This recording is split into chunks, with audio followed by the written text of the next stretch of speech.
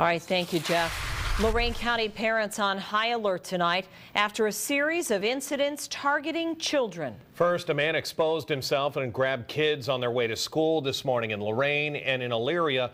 A 10-year-old girl was almost snatched from her bedroom in the middle of the night. And those predators are still out there tonight. Cleveland 19 News has a live team uh, coverage from Lorain County. Danny Carlson is covering the story from Lorain. But we want to begin with Denise Arella. She's live in Elyria with the latest on what happened there. Denise. Dan, I'm standing right outside the house where this happened. We just got done talking to dad, who told us that he was woken up in the middle of the night to his daughter screaming, saying someone was trying to grab her. He went running out of the house trying to go after the guy, but he said, Denise Sorella, Cleveland 19 and we want to put uh, to map for you to give you some context to just how close the two incidents, or at least the two cities, uh, were. This is where Denise was live, right there on Furnace Avenue in Elyria. You don't have to go too far, just up here to Lorain, and this is where we had three separate incidents this morning, one on Oakdale and West 18th, one on Washington and West 9th, and one on Oberlin and West 8th, all in Lorain. and that is where Danny Carlson is live. Danny, let me ask you, do they think the Lorain case is connected at all all to the Elyria case? Well, that's the big question that we have been asking today. Live in Lorain tonight. Danny Carlson, Cleveland 19. Thanks, Danny. We saw other school districts in that very near vicinity uh, do what they could to get the word out. This is Amherst Village Schools, uh, just to the west of Elyria. This is what they put out four hours ago. We've been made aware of three attempted abductions in Lorain this morning by local police. Amherst police have indicated that we, as a school district, do not need to take any action at this time. However, as precautionary measure, there will be increased police visibility during school dismissals this afternoon. Uh, please be aware today within your buildings and on school grounds. So everybody in that Lorain County area on high alert. Denise. Yeah, and they weren't alone, Dan. Avon Lake City Schools also emailed parents today saying extra squad cars would be at the schools. All of these incidents, of course, putting parents on edge. We have some tips from the experts you should definitely share with your kids to help ensure their safety getting to and from school. Now, National School Safety and Security Services advises children travel in groups. Form a buddy system. Don't walk alone. Skip the shortcuts, follow the main streets and the pathways, stay out of those wooded areas or isolated spots. And if someone approaches your child or attempts to grab them, tell them to yell and scream at the top of their lungs to draw attention to the situation and try to get away. You should also put away iPads, tablets, cell phones, and any other high value tech items so people can't see those while you're walking to and from school or waiting for the bus. That can help prevent those kids from becoming a target for robbers. And uh, as expected, uh, we did we did get around two inches of snow today. Uh, a lot of that coming down actually this afternoon, not so much in the morning. We had to wait for that temperature to drop. Now there's an alert tonight for some lake effect snow. The system snow is really beginning to wind down right now.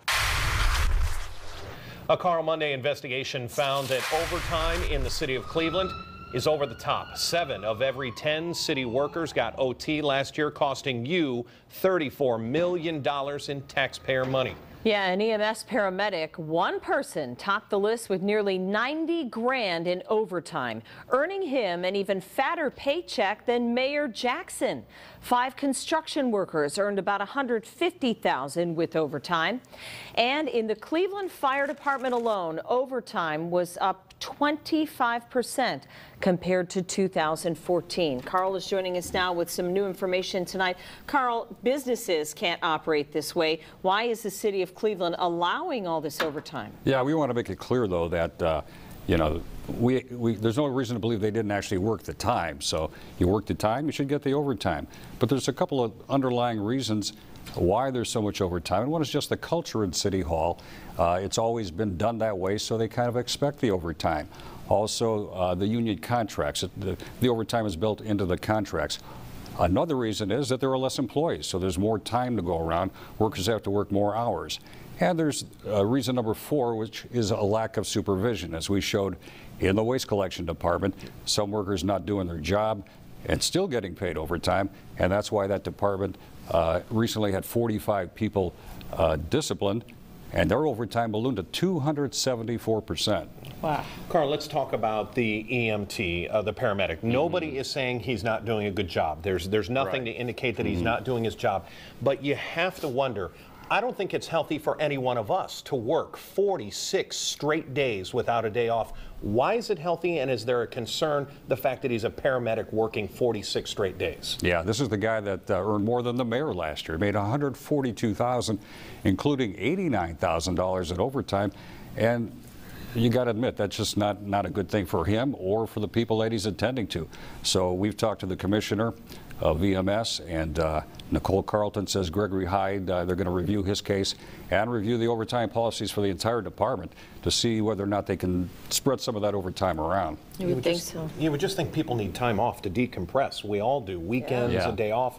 Here, or there, 46 straight it's- days. Extra safety. mandatory six hours rest between shifts. So they can work 24 hours, take six hours off, go take a short nap, and go back to work. That's insane. They really don't even have to leave the building. They could take the six hours on the couch Yeah, at yeah. the at the station. Yeah. All right. Well, of course, this is taxpayer money we're talking about. Whether you live in the city or you work there, your Mm-hmm. tax dollars are affected. I know those budget hearings are going on this week, so uh, let's hope that they can come up with some solutions. We'll keep on top of it. Thanks, Carl. Good work, Carl. Thanks. Former Cuyahoga County Common Pleas Court Judge Steven Terry has been disbarred. He was sentenced to more than five years in prison for providing judicial favors in exchange for contributions to his 2008 election campaign. Prosecutors say he fixed a case for former county auditor Frank Russo, who is currently in federal prison. And a rock star's welcome for Bernie Sanders today. The Vermont senator visited Berea to drum up support in his bid for the White House. Well, just about every topic Bernie Sanders brought up got a loud applause at BW. They need to change how things are done and the need to change the business climate of the country. But Paul Orlowski noticed one thing was left out. It was a rousing welcome here at Baldwin Wallace College. Paul Orlowski, Cleveland 19. All right, well, the five remaining Republican presidential candidates will take the stage in Texas tonight for another debate.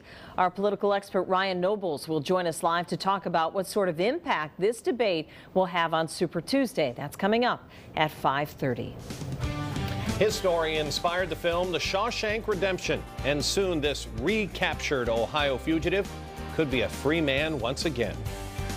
And they said, oh, we got a baby's head right here, so we need you to push.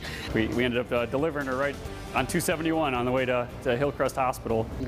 And a new baby boy makes his appearance in the back of an ambulance speeding down the highway. We'll have the story still ahead at 5. Live from Cleveland's News Center. Driven by Don Joseph Toyota in Kent. This is Cleveland 19 News. The battle continues to get legal weed back on the ballots in Ohio. Today, we're learning more about the impact of recreational pot can have, and it isn't good. A new study finds legalized marijuana is leading to more trips to the ER.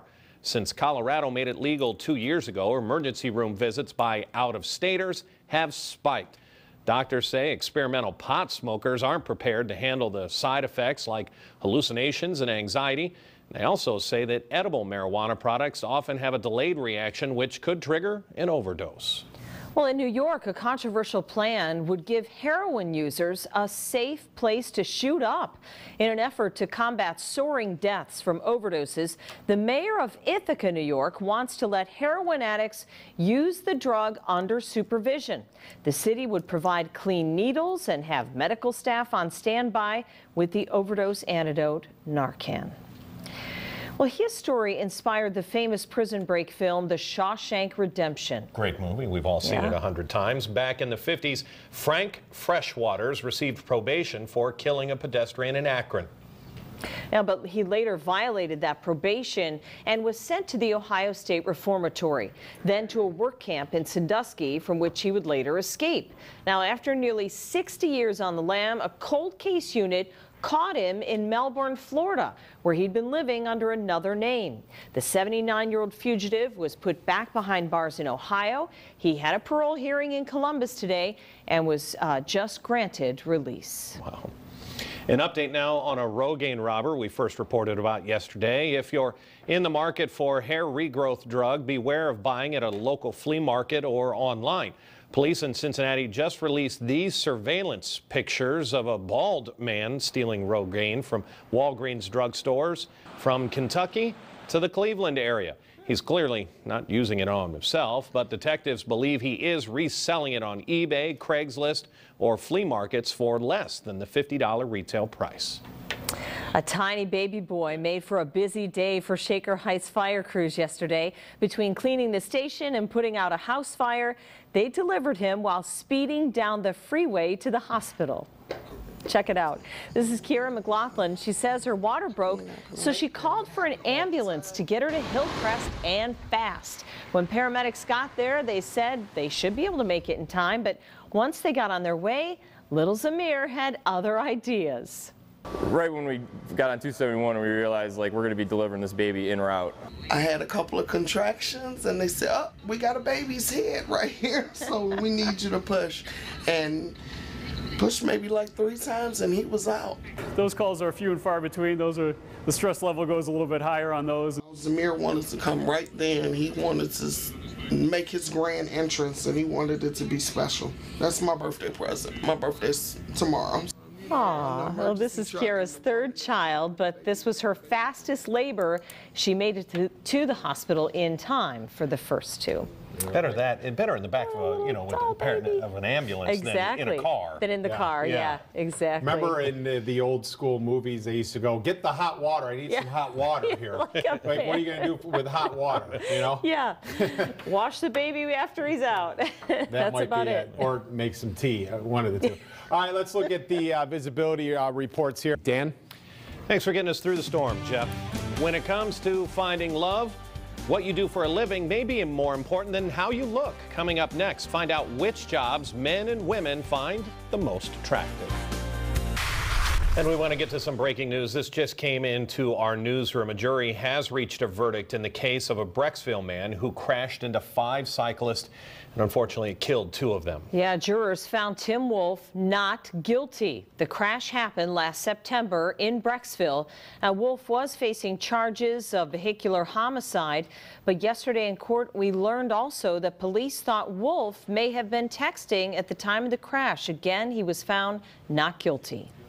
Your job may matter more than your looks when it comes to finding love. The dating app Tinder is out with a list of jobs that attract the most attention. The top five that men are looking for physical therapist, interior designer, entrepreneur, PR communications, and teacher. Pilot is the top job when women are looking for love, followed by entrepreneur, firefighter, of course, you knew that was going to make the list, doctor, and hey, TV radio personality. How's that working out for you? Oh, not too shabby. the ladies' man here. He's going to turn red, too. This is what he does. Stop, go, I'm go sorry. away, go away. All right. Well, they spent years saving up to help others in need, but someone just stole children's donations from a church. We'll have that story still ahead at 5. Like we do every day at 5:30, it's time to talk politics. Donald Trump is pulling away from the rest of the GOP field, and tonight could be the last chance for the other candidates to try and catch him. Yeah, the five remaining Republican contenders will face off in a CNN debate. It's tonight in Texas. Our Ryan Nobles is joining us live now from the University of Houston, the site of tonight's showdown. So, Ryan, this is a big night, and it could be a turning point in the race, right? I mean, it could be Denise. You know, uh, you know, the opponents to Donald Trump have all been attempting to, to edge each other out uh, to become the alternative to Donald Trump, and they've been doing it by beating each other up. But maybe tonight on this debate stage, Donald Trump will finally become the target. He's had rocky debate performances before, and it has never knocked him from that frontrunner status. Dan and Denise. Ryan, as we like to do, let's talk uh, Ohio Governor John Kasich. Uh, and as it gets to the debate tonight, maybe Cruz and Rubio, they focus on Trump. Maybe this is a chance for Kasich to rise above, keep on his positive message, or will there just simply be too much noise coming from Trump? Yeah, you know, that's always been the problem for John Kasich in these debates, Dan, where, you know, he is not the type of candidate that uh, equips himself well uh, when it becomes an attack fest. And if there are attacks being thrown uh, at each one of these candidates, Kasich uh, will often have a shining moment where he kind of tries to become the adult in the room, but then he's forgotten because if you can't play that game, it's really difficult uh, to make any kind of a lasting mark on the debate stage. But he does need to do something to stand out. You know, he is not really doing very well in the polling in many of these Super Tuesday states uh, in the vote that's upcoming next week. He's really kind of pinning all of his hopes on winning Ohio, which is pretty far down the road. And there are still increasing calls for him to get out of the way so that there can be some sort of consolidation of the vote against Donald Trump. But at this point, almost any one of these candidates that isn't Donald Trump can make the case that they've got the best opportunity to win. So Kasich tonight really needs a strong performance so that he can bolster his argument uh, in that debate. Might be the best debate yet. All right, thank you. We'll be watching tonight. See you soon, Ryan. Thanks for the time. We have new developments today in an Akron murder case. Tiffany Powell was sentenced to life in prison in connection with the death of her ex-boyfriend. Prosecutors say she lured James Harris to her house by asking him to look at a car for sale. When he arrived, he was beaten to death by Powell's new boyfriend, Paul Reed. Powell will be eligible for parole in 30 years. Reed was previously sentenced to 15 years to life. Well, a woman in Cincinnati is facing charges for trying to smuggle a gun into a courthouse hidden in her bra. Brandy Patricia Ross was taken into custody after deputies say she went through the metal detector just inside the front doors of the Hamilton County Courthouse carrying a 22 caliber gun. She was promptly taken next door to the county jail. Hmm. In Elyria, the hunt is on for the heartless thief who stole donations from a church. And you see, children had been collecting that money for years to donate it to a home for troubled youth. Sia Nyorkor is live with that story. Yes, Washington Avenue Church, Christian Church has been collecting money to support Cleveland Christian Home for decades. They tell me they were so close to filling that jar and writing a check. Now, thanks to that thief, they'll have to start all over. The church staffers really didn't want anyone to know about this, but news spread and now some good is coming out of this. This Sunday, a sister parish will host a chili cook-off at Eaton Christian Church right down the road. Donations will go directly to the Cleveland's Christian Home. Back to you. Well, thanks, Sia. Uh, I-480 is back open in Twinsburg. It was shut down for several hours today after a semi jackknifed this morning. The driver of the big wig was trapped in his truck for about an hour and a half until firefighters were able to get him out. He was taken to the hospital. No word on his injuries. All right, Lynn, uh, what a difference this afternoon it has, huh? Look at the skies. Clear skies now, no snow right now at the moment. This is a live look from our Feazel roof cam. And so, Jeff, how about it? Is it over? Are we done with this? uh, the worst of it is over, yeah. The 24 only for your high. And the planner, 7 a.m., 20, only 22 at noon, 25 at 5 o'clock. But as I mentioned, this cold spell is going to be short-lived. And I'll show you why in the seven-day forecast uh, coming up. Denise? All right, Jeff, thank you. A penny for your clothes? J.C. Penney is staying true to its name and selling some of its merchandise for literally one cent. We have the details next at 5. The city of Mentor posted a video to its Facebook page just about seven hours ago. It is a sweetheart of a video that already has more than 300,000 views. We're going to show you the video and tell you all about it coming up. Walmart is pulling hoverboards from its website following the government's warning about possible fire hazards. The company wants suppliers to prove that the boards comply with new safety standards. Target, Toys R Us, and Amazon have also stopped selling them. Well, a new meaning is coming to the name J.C. Penney. The store will now start selling merchandise for literally one cent. The retailer is calling it Get Your Pennies Worth, and the sale will involve its house brands like its Arizona products. And this is one of those stories that's just going to warm your heart a little bit. This is uh, Doris, and every day for the past five years, and this Mentor woman has walked to the end of her driveway to blow kisses to the kids on bus 46. They call her Grandma, and recently on her 88th birthday, the children stopped and gave her a very special surprise.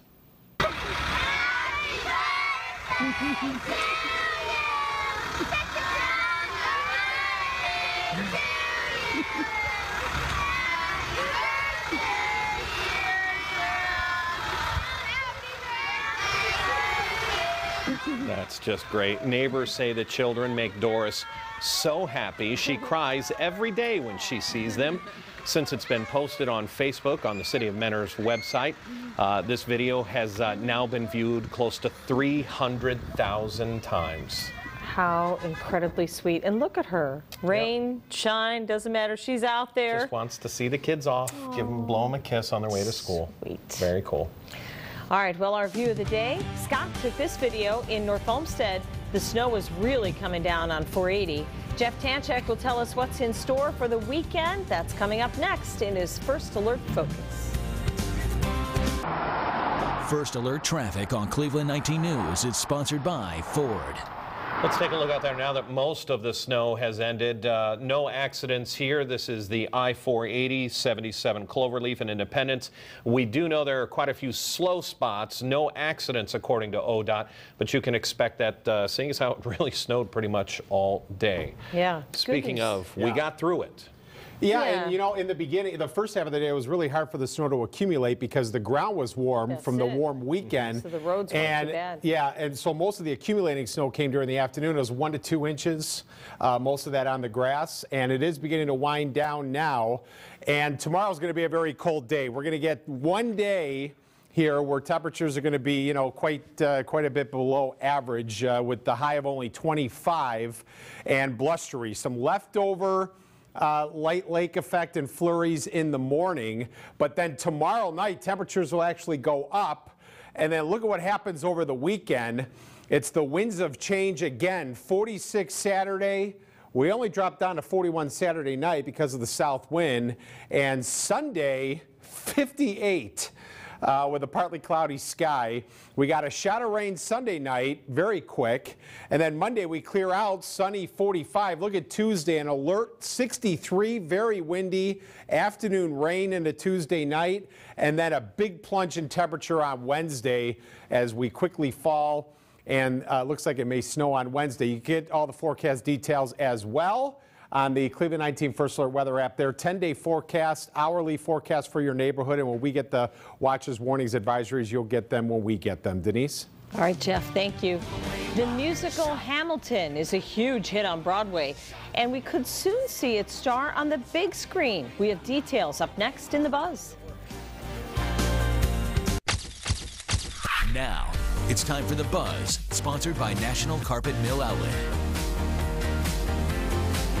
Well, the star of the hit Broadway show Hamilton could be headed to the big screen. And the White House last night was rocking.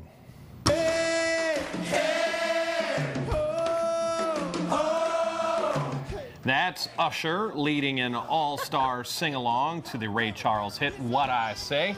The President First Lady paid tribute to Ray Charles last night. The event was streamed live online, but in case you missed it, you can catch the program tomorrow night on PBS. Time I'm thinking past tomorrow. And Hamilton creator and star Lin-Manuel Miranda may be trading his Revolutionary War era costume for a London lamplighter's look.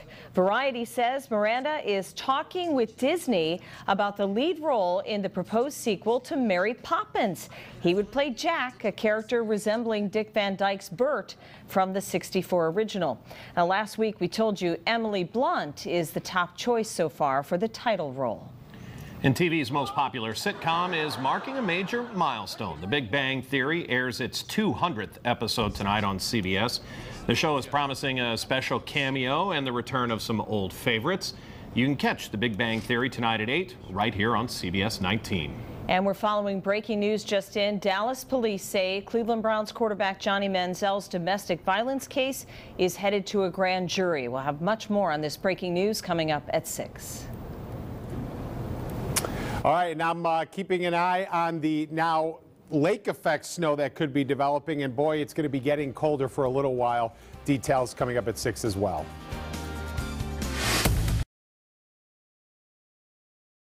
You're watching CLE 43.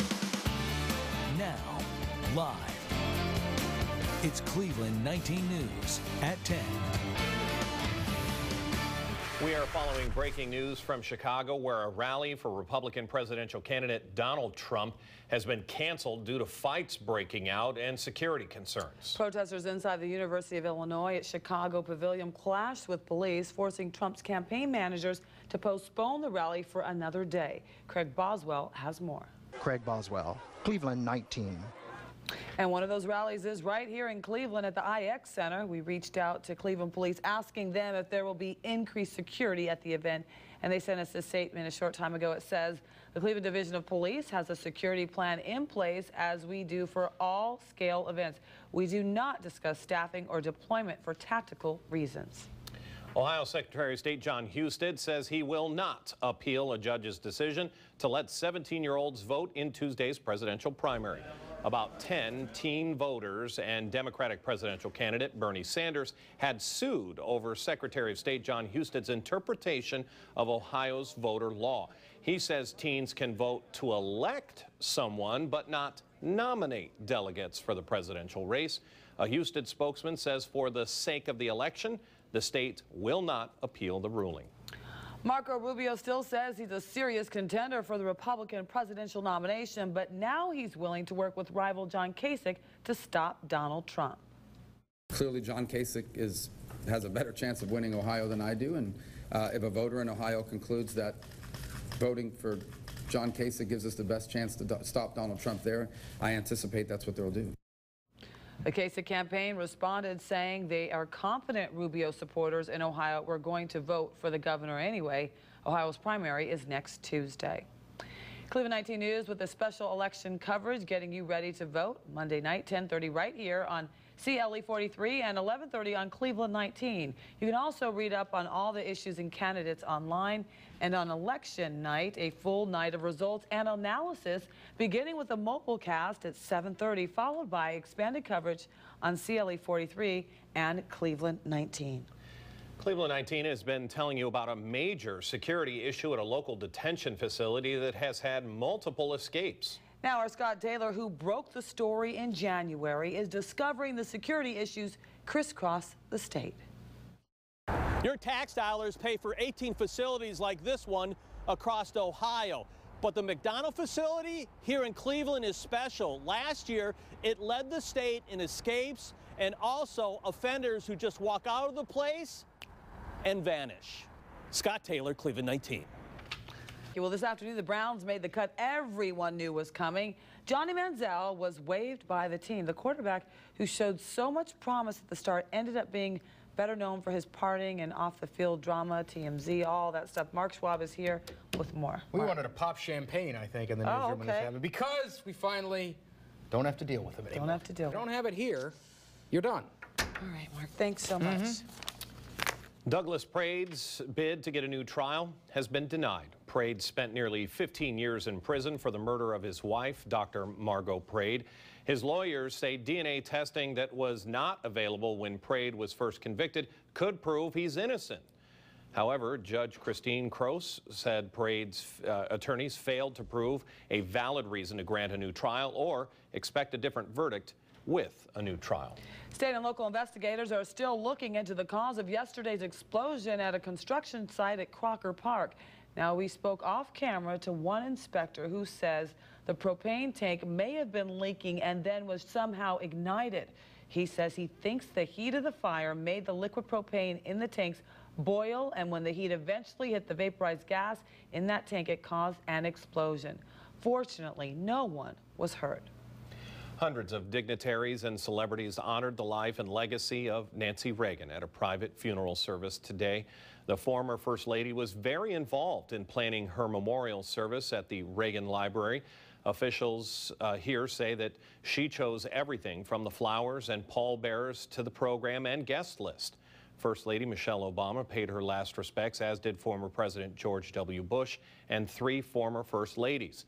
The Reagan's children, Patti Davis and Ron Reagan Jr., reflected on their mother's devotion to their father. When my father was shot and my mother rushed to the hospital, they at first wouldn't let her see him. I have to, she said. You don't understand how it is with us. She will once again lay down beside the man who was the love of her life, the one she loved till the end of her days. Nancy Reagan will be buried just inches from the former president on the Ronald Reagan Library grounds. Can losing one hour of sleep really make a difference in your health? We have a health alert on the health risk linked to daylight saving time. NCAA March Madness is almost here, and chances are you're not going to the lake for a swim, but that a new survey claims a good portion of the working American public will take part. We'll have the numbers coming up. Live from Cleveland's News Center. Driven by Don Joseph Toyota in Kent. This is Cleveland 19 News. We are springing forward on Sunday, setting our clocks forward an hour to daylight saving time. But what does a change mean for your health?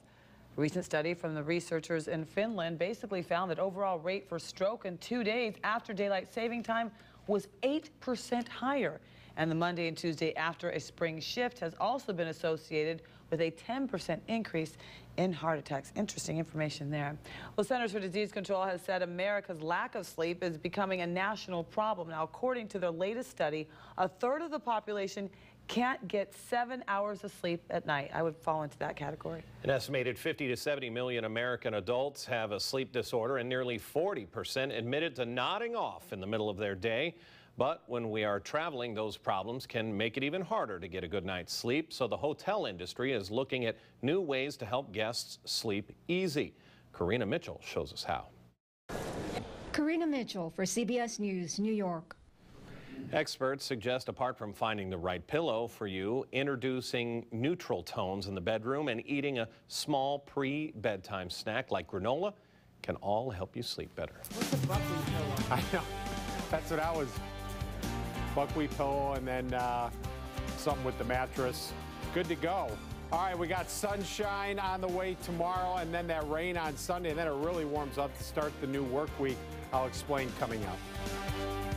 Uh, it's one of my favorite times of year. March Madness is almost here. Brackets will be out on Sunday night, and according to outplacement firm Challenger Gray, more than 50 million Americans could participate in office pools this year to determine the winner of the NCAA men's tournament. That's about 20% of all employed workers in the U.S. That's up from 11% in 2014. Well, let's take a live look outside. This is from our Feazel roof cam on this Friday. No rain problems for us tonight. At least the start of the weekend is looking pretty good. Jeff, over to you with more.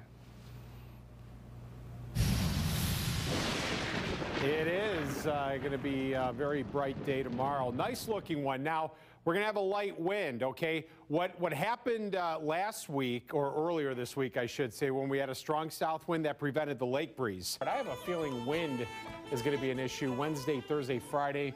Might be tough for some of the floats. Oh, yeah. Uh, on, uh, during uh, the parade, It's but not too cold. year. It's just not raining. That's the good news. Yeah. Forget the polls. We might be able to predict the outcome of the Ohio primary thanks to a local bakery. The story coming up. Forget the straw poll. We have a political poll that's a whole lot sweeter. Absolutely. And Amherst Bakery is trying to predict the Ohio primary with a cookie poll. Kiedrowski's Bakery is selling political cookies with each candidate's face on them. Uh, they've uh, sold about 5,000 cookies in the past few weeks. They tell us the top sellers are Donald Trump, Bernie Sanders, Hillary Clinton, and Ohio Governor John Kasich. So far, none of the candidates have endorsed the cookies. But the bakeries, that's the best one right there. The bakery, uh, Kiedrowski's, remain hopeful that one of them will stop in and take a bite. That's a lot of cookie What was making. that, Good for them. I don't know if I'm more frightened by the faces you guys are making. What? I, it's Friday. Can you tell it's Friday? The one. Jeff, talk about the weather. Oh no, talk about the weather, please. All right, let's look at the weekend. So stay tuned. Nice. Thank you. Excuse these two. Thanks for watching tonight at 10. We hope you have a phenomenal weekend. Try to stay dry. Do you want to buy a new car for under 13 grand?